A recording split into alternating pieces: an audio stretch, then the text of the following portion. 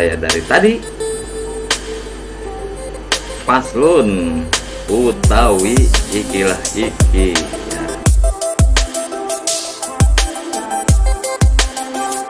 Assalamualaikum warahmatullahi wabarakatuh. Masih bersama saya di Paslon Channel. Baik sebelum kita mulai Silahkan yang belum subscribe ya di pojok kanan bawah. Terima kasih yang sudah subscribe. Baik eh, untuk kesempatan kali ini saya akan mencoba eh, menerangkan eh, tentang fungsi kelompok shaping eh, fungsinya sering saya gunakan dalam pembuatan stempel ataupun membuat undangan, kartu nama dan lain sebagainya. Jadi langsung saja kita mulai. Yang pertama adalah fungsi dari uh, well yang ini. Nah, sini saya sudah membuat pamflet ya. Pamflet ya namanya ya. Nih. Pamflet ada nomor 2 di bawah, satu di atas ini kebalikannya nomor satu oh ini harusnya di di atas nih ini di atas kita pindah dulu nah harusnya demikian e, lalu untuk perintah well yaitu di sini saya sudah membuat e, sudah saya racik. E, mungkin seperti ini ya penggabungan dua buah objek. Warna ini warna anggaplah warna. Warna akhir mengikuti warna objek yang terpilih yang terakhir dipilih. Demikianlah jadi objek baru yang dihasilkan dari penggabungan dua buah objek ini warnanya akan mengikuti objek yang terakhir dipilih yaitu di sini. Yang pertama dipilih nomor satu.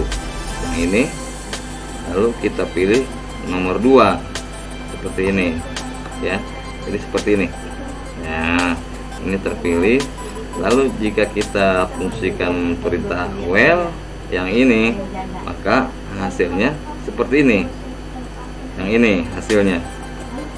Jadi warna akhir mengikuti warna objek yang terakhir dipilih yaitu di sini nomor 2 lalu yang seperti ini. Nah, ini kan yang hmm, pertama ini kan yang pertama dipilih warna hijau yang kotak yang kedua warna merah nih yang lingkaran maka hasil akhirnya objek yang tercipta warnanya akan mengikuti warna objek yang terakhir dipilih yaitu nomor 2 nah, seperti ini ya hasilnya seperti ini hasil akhirnya. Eh, secara garis besar bukan garis besar sih emang fungsi dari well itu seperti ini ya ini ya silahkan di screenshot yang ingin belajar mungkin ya mungkin bapak ibu yang ingin eh, menduplikasikan pelajaran well ini untuk putra putrinya silahkan. Nah uh, untuk well ini saya nih ini sengaja saya buat ini uh, sering saya gunakan untuk ini yaitu ini pembuatan denah eh, di dalam undangan kan suka ada denah lokasi tuh paling belakang misalkan nih dari awal nih nah ini eh, sebagai contoh saja ya ini kotak Nah, ini jalan raya. Lalu misalkan di sini ada jalan raya lagi.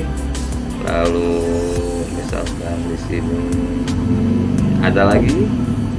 Ini misalkan ya, ini sering saya gunakan untuk membuat di antaranya seperti ini, dena undangan. seperti ini. ini kita putar seperti ini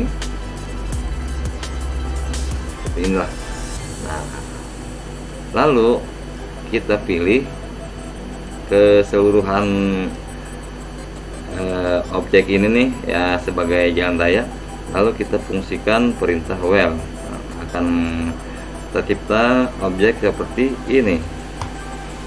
Jadi tidak saling bertumpuk ya.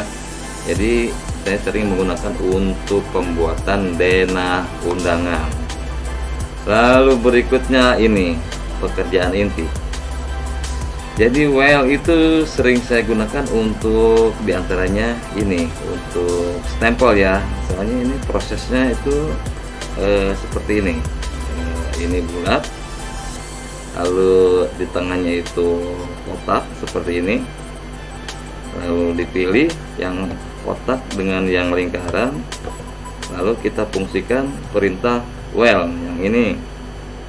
Nah jadi fungsinya seperti ini kadang ada pembuatan uh, stiker uh, setting ya setting stiker uh, yang pasti sih ini yang paling sering ini stempel ya. Oke baik untuk berikutnya yaitu trim. Nah, trim itu yang kedua. Nah ini ini tadi yang pertama well yang kedua trim. Ini perintah uh, setting itu tidak akan muncul uh, kecuali kita memilih dua objek seperti ini. Seperti ini dia muncul ini perintahnya. Tapi kalau yang ini nih tiga ini bukan kelompok setting ya ini hanya apa uh, satu baris dengan kelompok setting. Ini hanya tetanggaan saja nih bertiga. Lalu uh, fungsi trim fungsi trim itu Eh, memotong memotong objek. Ini sengaja tadi saya perkecil. Nah, ini saya tuh ini ya memotong objek. Lalu untuk prakteknya dengan yang kosongan dulu. Ini bulat eh, ini jangan bulat lagi biar ketahuan ini kotak deh. Nah lalu kita pilih dua objek ini seperti ini. Kita fungsikan perintah trim maka akan menghasilkan objek seperti ini yaitu yang lingkaran terpotong oleh yang kotak. Nah untuk jelasnya di sini saya sudah membuat eh, apa sih pamflet ya? Skema mungkin ya yang jelasnya ya. Skema jadi ini sengaja ini e, nomor satu di depan lalu nomor dua di belakang di bawahnya. Lalu yang ini nomor dua di bawah e, maksudnya yang lingkaran di bawah yang kotak di atas. Artinya begini e, nomor satu di sini kita jika uh, mengklik memilih lingkaran ini pertama lalu yang kedua yang ini yang kotak nah yang ini yang pertama yang ini kita pilih klik lalu yang kedua yang nomor dua ini. Nah, maka hasilnya seperti ini. Hmm, hasilnya seperti ini. Jadi eh, yang nomor satu yaitu lingkaran akan memotong nomor dua. Seperti ini jika di, kita fungsikan kita pilih dua objeknya. Kita fungsikan uh, trimnya. Maka hasilnya akan seperti ini. Jadi si lingkaran memotong si kotak. Karena si lingkaran ini terpilih eh, pertama dan si kotak yang terpilih kedua itu terpotong oleh si lingkaran ya ini biar jelas saya kasih warna dan nomor. Lalu yang ini. Nah ini nomor satu artinya kita memilih kotak pertama lalu yang kedua memilih lingkaran. Ini nomor dua yang merah. Jadi prosesnya seperti ini. Kita pilih hijau tekan shift hmm, lalu tekan merah. Jika kita fungsikan perintah trim maka hasilnya seperti ini. Jadi si lingkaran terpotong oleh kotak karena kotak yang dipilih pertama sebagai pemotong. Yang lingkaran ini yang terpotong sebagai objek eh, objek penderita. Ya yang terpotong. Ya. Ini ya hasilnya ya seperti ini oke trim. Lalu eh, perintah trim ini sering saya gunakan seperti biasa. Nah dalam pembuatan stempel seperti ini. Nah, paslon. Utawi ikilah iki. Ya. nah kita kembali ke uh, trim. Nah, jadi proses trim itu jika uh, saya terapkan di stempel maka hasilnya seperti ini. Yang trim yang di trim itu yang ini yang di tengah.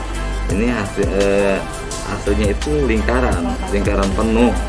Ini lingkaran penuh ya seperti ini.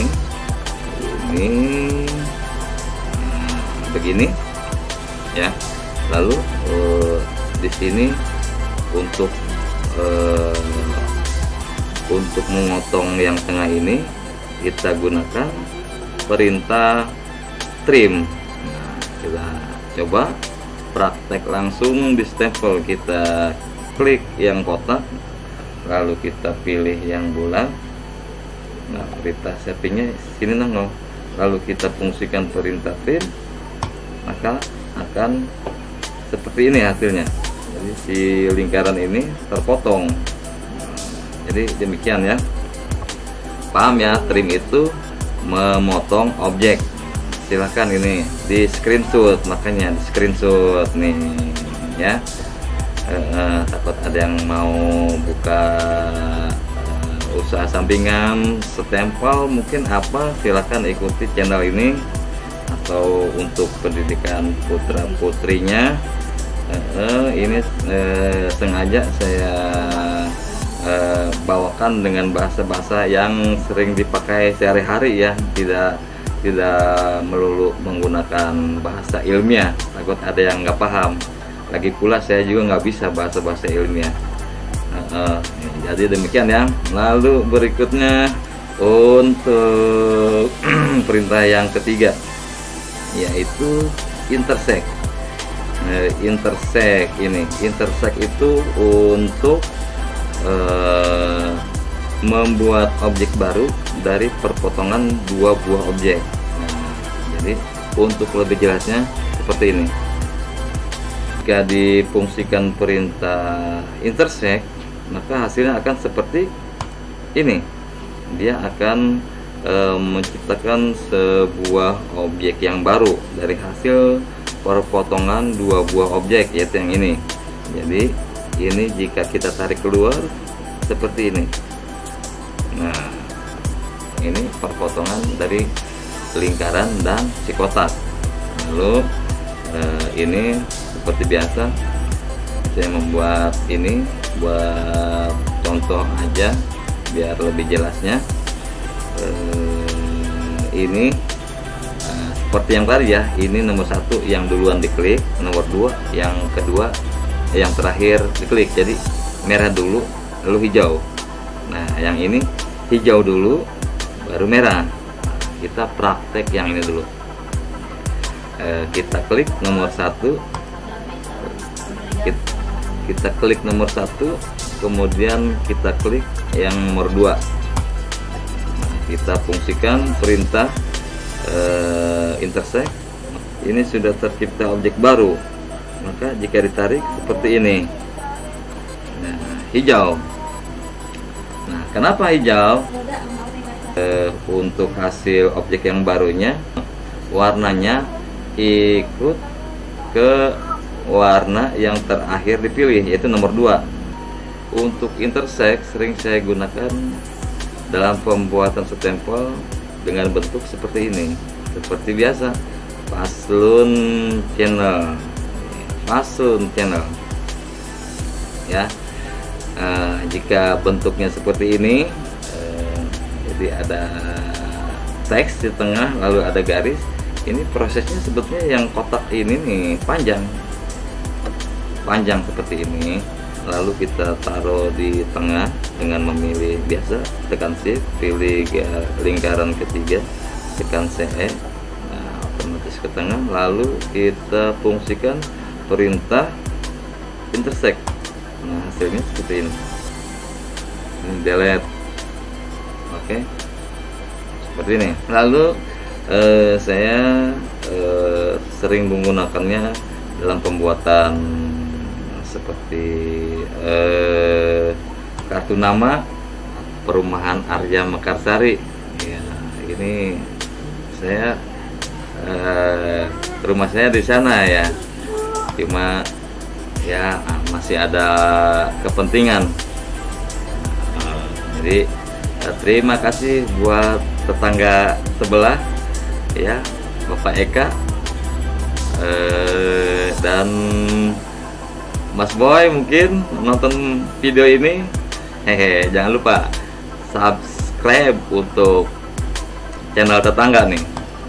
Nah ya eh, saya fungsikan fungsi dari intersect seperti ini. Eh, pada kalimat Arya Mekarsari kita pilih yang kone eh yang pon kita pilih yang lingkaran ini lalu kita pilih yang area Mekarsari ini.